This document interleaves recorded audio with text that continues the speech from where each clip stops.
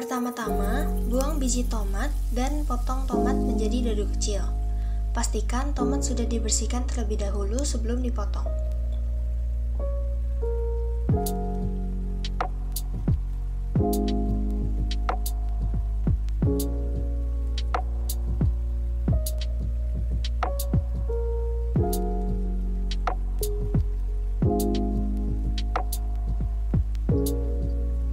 Cacah daun timi segar?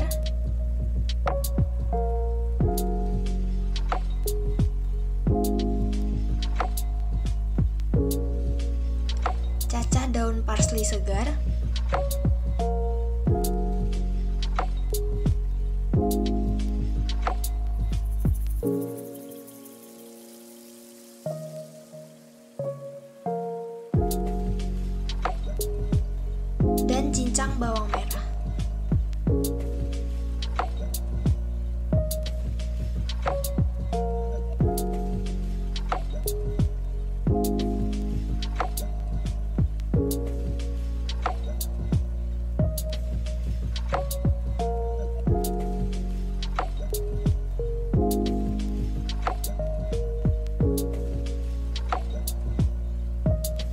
Lalu kita akan mulai memasak.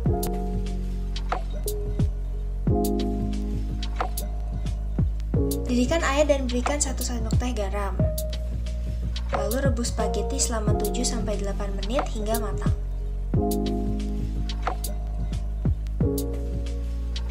Tuang olive oil ke dalam teflon dan masukkan tomat yang sudah dipotong dadu. Lalu tumis selama 2 menit hingga mengental.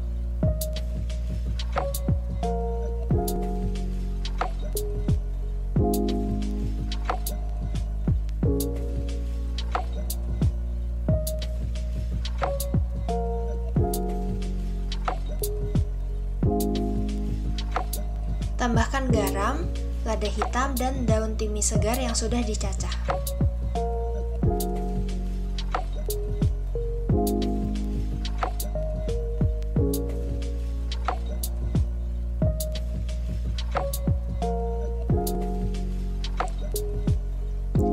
Lalu aduk hingga merata.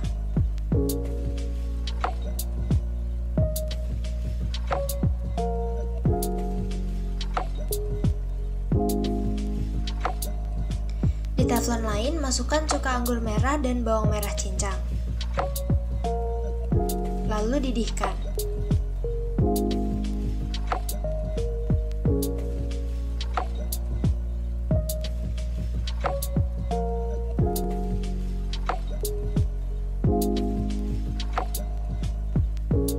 Tambahkan krim dan aduk hingga rata.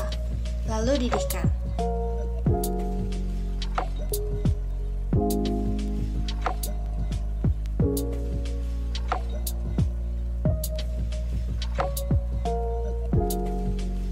Jika sudah mendidih, masukkan ke dalam campuran tomat dan aduk hingga merata.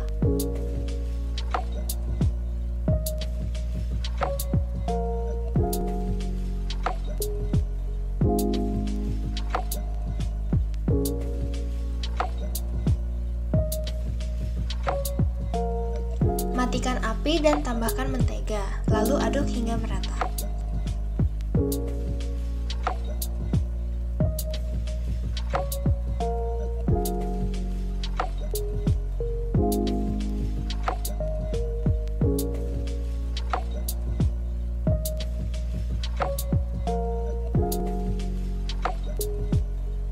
Tambahkan daun parsley yang sudah dicacah.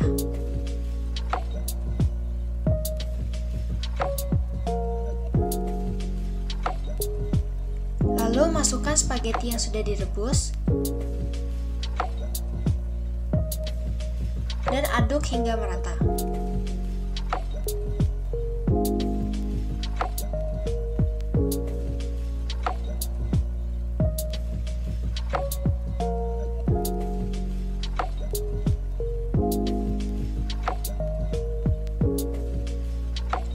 Tata spaghetti di piring. Taruh sedikit saus di atasnya. Dan hias dengan daun parsley segar. dan siap dihidangkan.